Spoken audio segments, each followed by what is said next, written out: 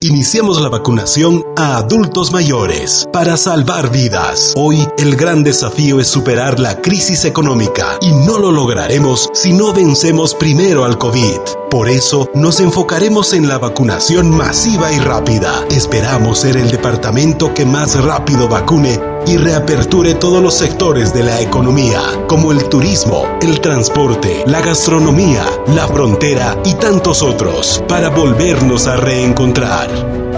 Gobierno Autónomo Departamental de Tarija.